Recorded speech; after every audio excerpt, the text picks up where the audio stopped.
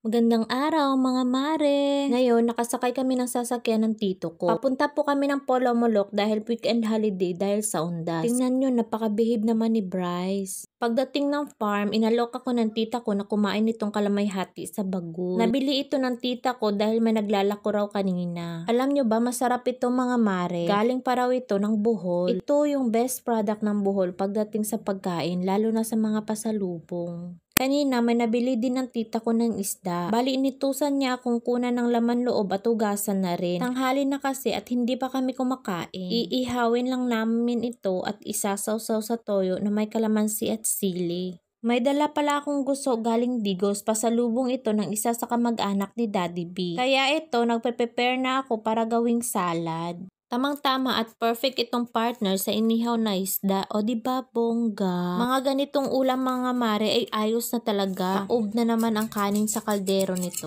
Pagkatapos ko mag-slice ng kamatis at sibuyas, nilagay ko na dito sa guso. Bali itong guso ay need mo lang talaga magpakulo ng tubig at buhusan mo lang ito ng saglit para medyo maluto siya. Pagkatapos, ilagay itong kamatis at sibuyas. Lagyan mo na rin ng pampalasa tulad ng asin at saka seasoning. Lagyan na lang din ng kaunting suka para maging maasim. Syempre, halu-haluin mo lang ng konti para maging balance yung lasa. Naisip ko nga, mas masarap ito lagyan ng sili para mas ganado kami nito sa pagkain. At yung inihaw na isda ay malapit na talagang maluto. Habang naghihintay na maluto yung inihaw na isda, ay naisipan ko nga pumitas ng sili dito sa labas. Marami din kasing tanim ang tito ko ng sili. O ayan, maraming sili ang napitas ko mga mare. Unlimited sili para mas masaya. O di ba bongga? Pumitas din ako ng mga kalamansi mga mare. Ilalagay ko sa may toyo na may sili. At yung iba, dahil maraming kalamansi dito, ay dadalhin ko pa uwi ng Jensen para di ko na kailangan bumili, ba? Mindset ba? Mindset. Pagkatapos kong mamitas ng kalamansi ay napatingala naman ako dito sa punuan ng durian. Nakikita ko nga at meron pang mga bunga at malalaki na.